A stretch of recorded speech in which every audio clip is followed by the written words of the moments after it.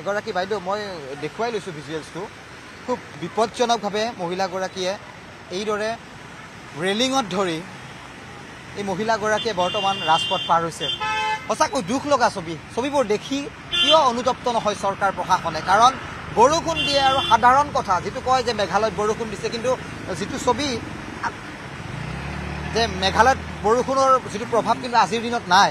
গুৱাহাটীতে কিন্তু আজি বৰষুণ দিছে। কিন্তু তাৰ পিছতো কিন্তু একাংশ জনপ্ৰতিনিধিয়ে ক'ব যে হয় মেঘালয়ত বৰষুণ দিছে পানীবোৰ নামি আহিছে।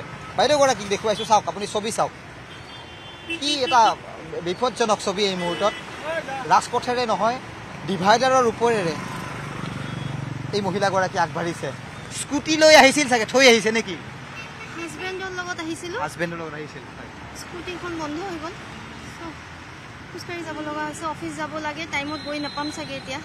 এতিয়া বৰষুণ দিলে চাগে এনেকুৱা ছবি বা এনেকুৱা ধৰণৰ এটা অভিজ্ঞতা হৈ গৈছে এভৰি আদাৰ ডে এনেকুৱাই হয়। আমাৰ সাতগাঁৱত থাকোঁ আমি আমাৰ সিফালেও আমি যাব নোৱাৰোঁ সিফালেও ৰাস্তাৰে ওলাব নোৱাৰোঁ ইফালেও যাব নোৱাৰোঁ আমি কেনেকৈ যাওঁ চৰকাৰে কিবা এটা ব্যৱস্থা কৰিব লাগে আৰু মুঠতে। ছবিখন দেখি আপোনাৰ বেয়া লাগিছে ডিভাইডাৰৰ ওপৰে খোজকাঢ়ি আহিছে। ঠিক আছে গুৱাহাটীত থাকে গুৱাহাটীবাসীয়ে গুৱাহাটীত থাকি হয়তো গৌৰৱ অনুভৱ কৰে। কিন্তু যেতিয়া বৰষুণ জাক দিয়ে তেতিয়া এই ধৰণৰ ছবি কিন্তু গুৱাহাটী মহানগৰীত আজিৰ দিনত এক প্ৰকাৰ সুলভ হৈ পৰিছে।